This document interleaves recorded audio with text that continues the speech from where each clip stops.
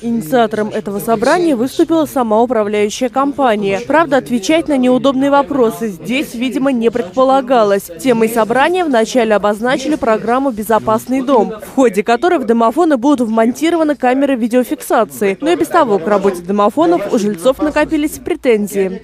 Это проблемы, ну, в том числе с домофонами, именно в выходные дни, когда большое, видимо, скопление народа, а у них э, нету дежурных, чтобы взять как бы и оперативно отреагировать.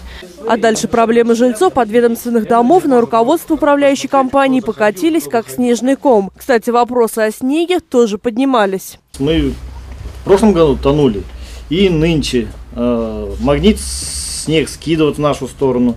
Транзит тоже так же. Сейчас еще открыли этот, как его, магазин, красное-белое. Они мус, мусоркой нашей пользуются. Они платят вам что-нибудь? Нет? Мусоркой, Это раз. э, нет. Носят э, с магазина, с этого здания двухэтажного, все. Этот мусор, все. Все, этот вопрос принимаем. Со всеми проблемами пообещали разобраться, хотя, судя по некоторым вопросам старших по дому, обещания раздавать в компании умеют, только выполняют их через раз. Вы говорили, эту проблему решим, да, но она так и не решилась, да. Когда оттепель, когда дождь, да, вот снег будет таять, да, у нас там хлюпает вода. И даже на первом Это этаже не слышно. Вот вы дом не приняли, вентиля- да? Не вентиляционная шахта, это система дымоудаления у вас там стоит. Да, наверно. Система, система дымоудаления.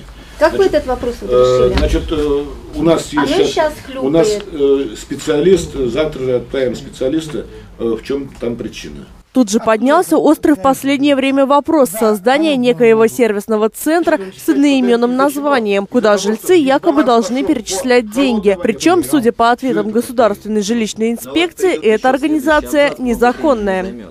Согласно выписке из ЕГРУ, э, кто не знает, сейчас расшифрую, единый госреестр юрлиц, это в налоговой выдается открытая информация.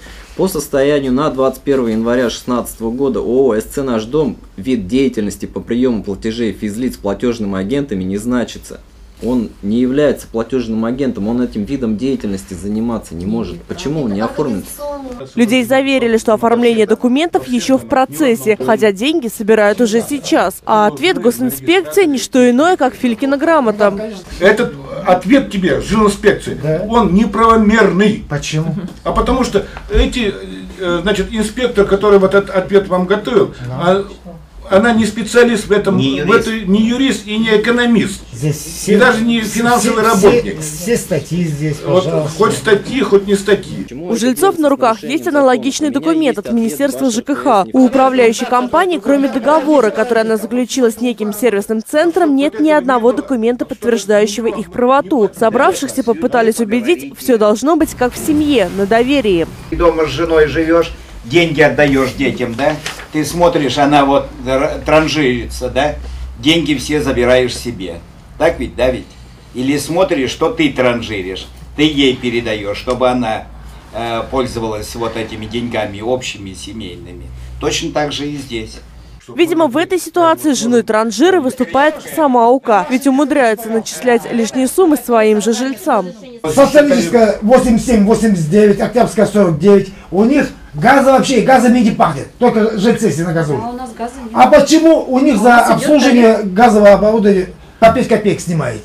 Нет доверия к управляющей компании и вопросе уборки снега. Почти все старшие по домам возмутились состоянием внутридворовых дорог, хотя убирать снег в УК умеют. Правда, с собственной территории. Все время, пока шло собрание, техника усердно чистила дорогу перед офисом компании. Наталья Бурова, Денис Кузнецов. Время новостей.